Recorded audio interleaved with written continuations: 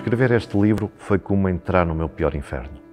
Um inferno que me arrelia desde miúdo. E esse do tempo que passa e nos leva de lambidos, que nos leva inexoravelmente, no fundo, até à morte, que é o destino final de todos nós. Quis registar, e em 250 páginas que o livro tem, o tempo sobre as várias perspectivas.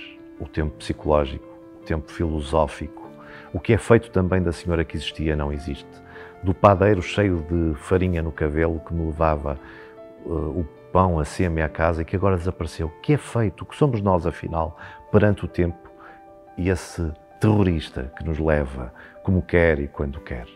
Porque nós, verdadeiramente, perante o tempo, somos nada, ficamos, quando muito, numa obra de arte, num objeto de coleção, em pouco mais do que isso.